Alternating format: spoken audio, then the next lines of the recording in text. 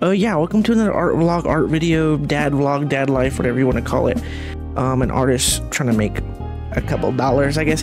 I'm in an art rut. I'm not in an art block. I just feel unmotivated a little bit, and it's ever since I did WonderCon a couple weeks ago, and I, leading up to WonderCon, I had like two weeks notice. I burnt out. I was like drawing so much, grinding, making stickers. I made like 10 sticker sheets just for that show three prints just for that show and uh, I was just grinding man. I was just like pulling all-nighters just to make art for that show because I haven't done a con since 2019 and I feel like I had no new work for it. So basically in this video I'm going to talk to you guys about how I get out of ruts. Like do I take breaks or do you guys take breaks? I don't know. Everybody says take breaks I don't know but I'm basically just going to talk to you guys about what I do. How do I get out of my rut? I'm in a rut right now but I did something today I think I'm think I'm out of the rut. I think I'm ready to create something again. So watch this video, put me on in the background. It's gonna be kind of boring. I'm just gonna be yapping. I like to yap. You guys know I'll talk about something forever. So in the comments, just let me know how you guys get out of a rut. How do you guys get out of art block? How do you guys become motivated again while I talk to you guys about how I do it? Thank you for watching. Thank you for being here. I appreciate all the love the past couple weeks. Um, I can't believe we've been getting so many comments and feedback, but uh, also have questions. Uh, people ask me questions on Instagram, and I'm going to answer those in this video. I'm talking a lot. Let's go now. Let's play it.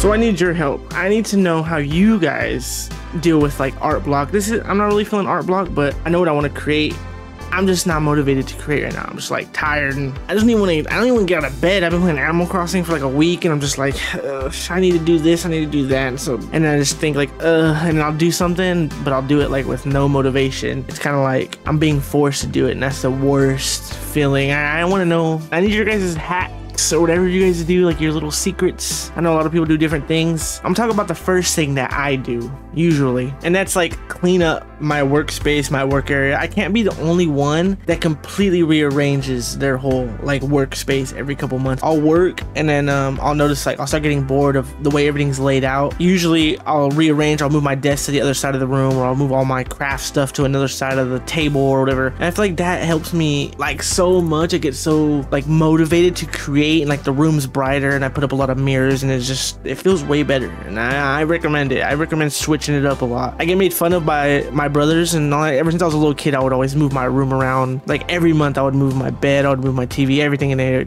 Still to this day they'll call me and they're like what you doing? I'll be like I'm moving my room around. They're like again? What's wrong with you? But I swear it gets it's like getting fresh eyes on the whole place and it gets me motivated. Another thing that gets me motivated is getting new products or things that I need for my art business or my art craft section in my room.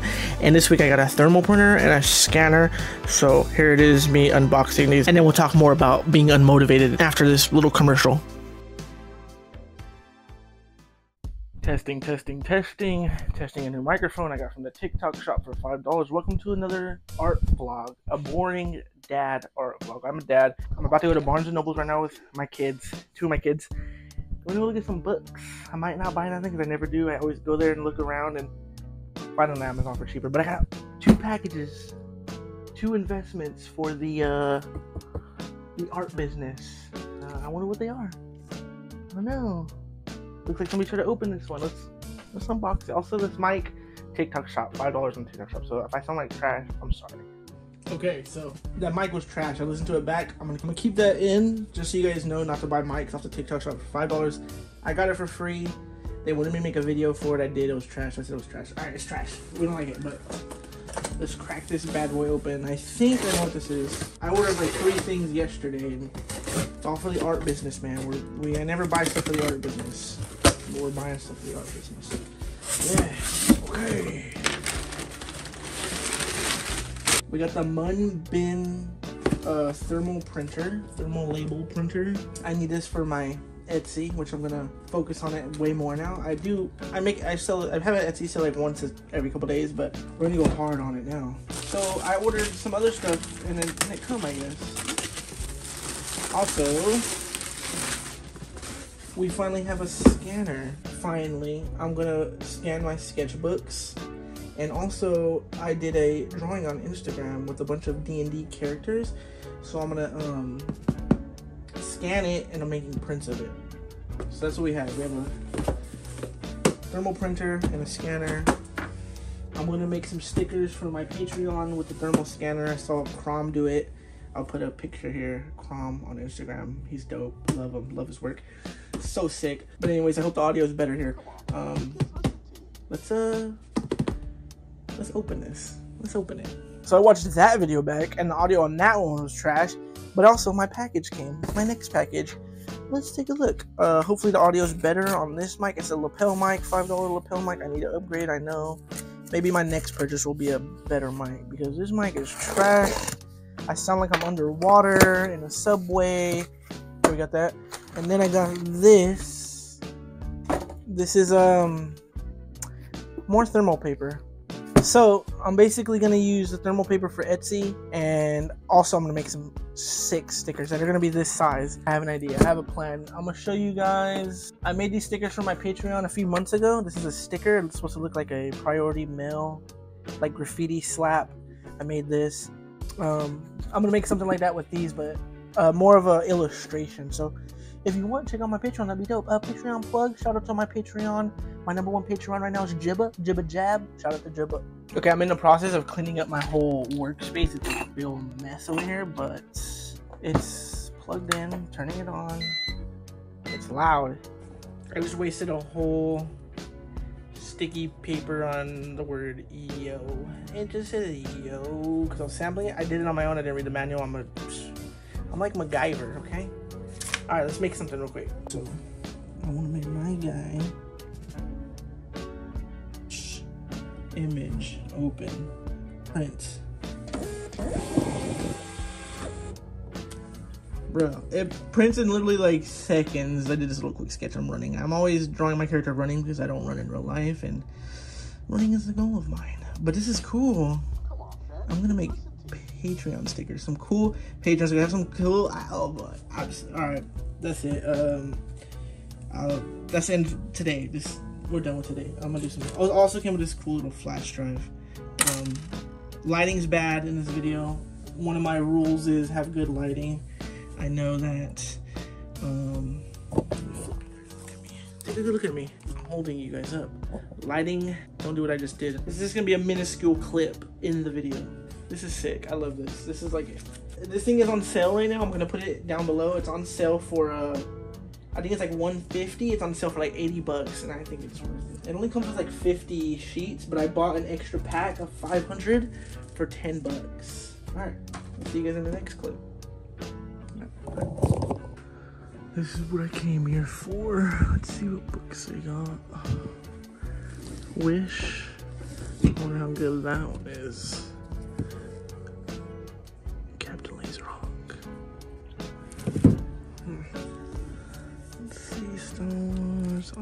2, Black Panther, Black Widow, open. My neighbor Totoro. Oh, that one's quite cool. I'm gonna look at that one. This page. This page is sick. This one.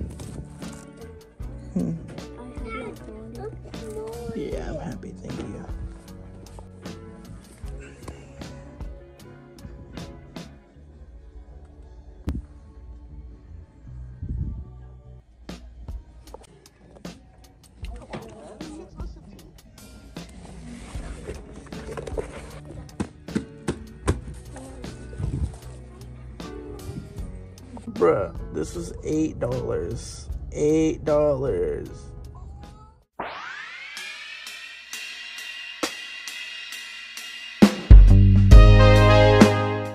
While you do the obvious thing and just like clean up your work area, while I clean, I like to listen to like podcasts or interviews from like my favorite artists or people in the industry. And I've been listening to a lot of Proko, a lot of videos I used to watch a bunch of times. I watched them like 10 times. I'm still watching them over and over again. It's like, it's the ones where Proko goes over to like conventions and interviews artists and gets their tips and tricks and how to get out of art block and stuff like that. But I also been listening to Creative Block a lot. And it's like tons of animation industry people to interview. And my favorite one has been Jorge Gutierrez. This is like an hour, almost two hours long on his is a good one. I would recommend that one if you're trying to be in the animation industry or if you're trying to get better at art. Those are some good ones. But when I'm not cleaning, I'm not drawing, I'm probably gaming or something like that. After my convention, I started playing Animal Crossing again and I've been addicted, like hooked. And it's been like taking over. I got like a grip on me, and I feel like if you're a gamer, you got to figure out how to set like limits or something like that. Because me personally, I'll stay up all night playing Animal Crossing, but I have like deadlines for certain things. I have to like force myself to draw or hit my deadlines. But it's good for when you're burnt out. I feel like playing games isn't bad. Just do it in moderation. Like I bought Helldivers 2. I played it a couple times, and then I had my convention. Didn't play it the whole time, and then um, I played it like once, and I was like so addicted. I just wanted to keep playing, playing. And I had to stop because at a convention. So I'm like, uh, it sucks. But